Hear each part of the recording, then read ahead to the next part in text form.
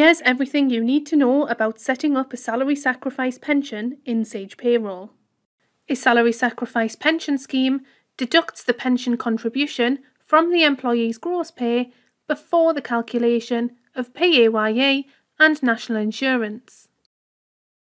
In this video, we show how to set up a salary sacrifice pension, payment settings for salary sacrifice, how salary sacrifice appears in your pay run, reports that show salary sacrifice. Whether you are a new or existing company, Sage Payroll has you covered.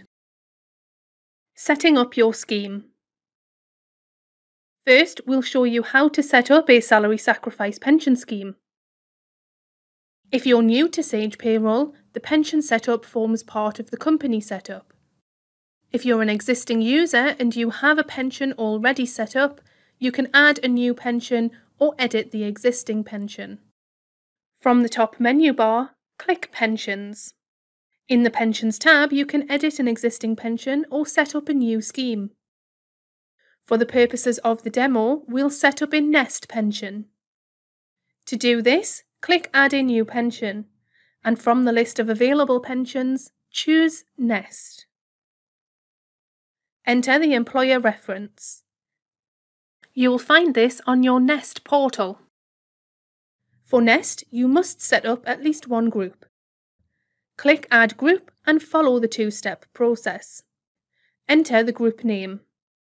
You must enter the exact details for the group as set up on the Nest portal. Otherwise, online submissions to Nest will fail. This includes correct placement of capital letters, spaces, and numbers. Choose the type of contribution. In this case, it's salary sacrifice. Enter your employer and employee contribution percentages. If you need to set this up as a fixed amount, you can do this for each employee when you run the payroll. We'll cover this later in the video. To continue, click Next.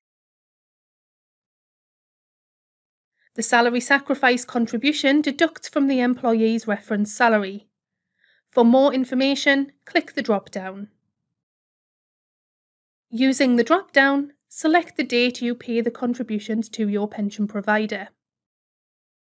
If you want to automatically enrol all employees into this pension scheme, select the Automatically Enrol Employees checkbox.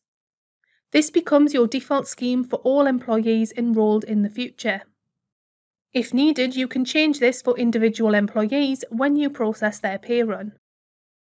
When satisfied with the information entered, click Save. Next, you need to add a payment source. You must enter the exact details as on your Nest portal. Read the terms, then to agree, check the box. To complete the setup, click Save. If you want to edit an existing scheme, for example add a new salary sacrifice group, from the Pensions tab, click Edit Pension. Please note you can't change an existing non-salary sacrifice scheme to a salary sacrifice scheme. You must set up a brand new scheme or a new group within your current setup.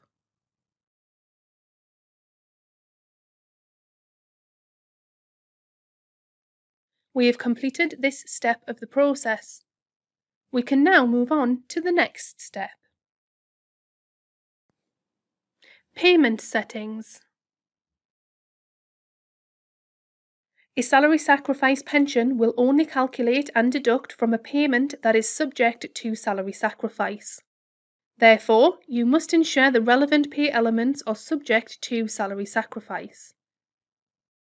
To check and set up your payments, go to Settings, then click Payments and Deduction Settings. To check an existing payment, click on the item here. On this occasion, we're only checking the pension settings. To include the element in your pension calculation, select Salary Sacrifice, then click Save. If you've already used the payment to pay an employee, you cannot edit the payment and add the salary sacrifice.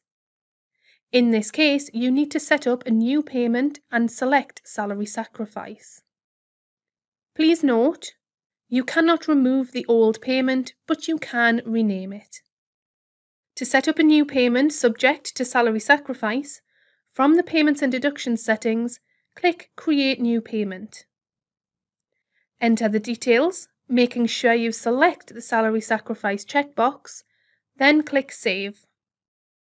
If you are unsure which payments you need to include in your salary sacrifice pension calculation, please check with your pension provider. We have completed this step of the process. We can now move on to the next step. Pay runs. Let's take a look at the salary sacrifice deductions during a pay run. From the Summary tab, click Process Pay Run. Follow the steps to set up your pay date and add any employee absences. To continue, click Next.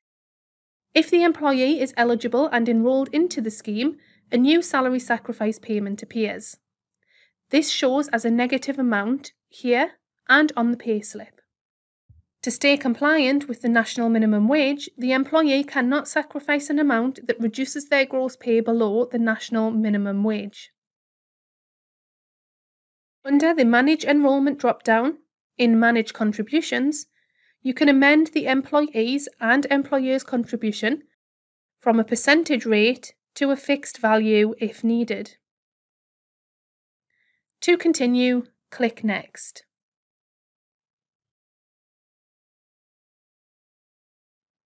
We have completed this step of the process.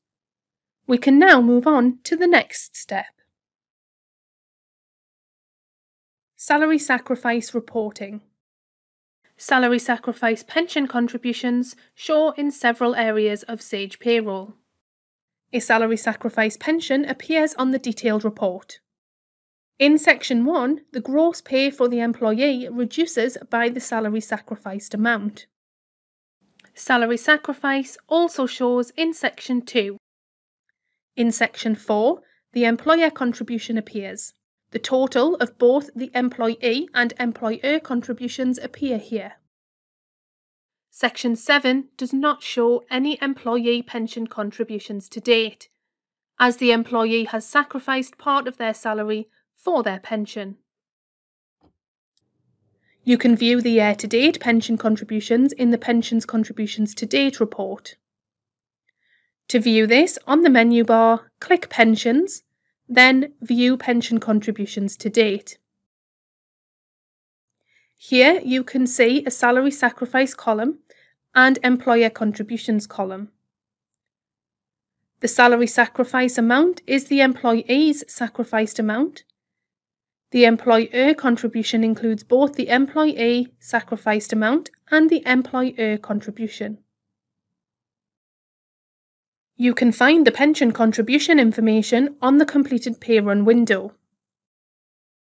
To do this, click on the Pay Runs tab, select the relevant pay run, and you can view the information from the Pensions section.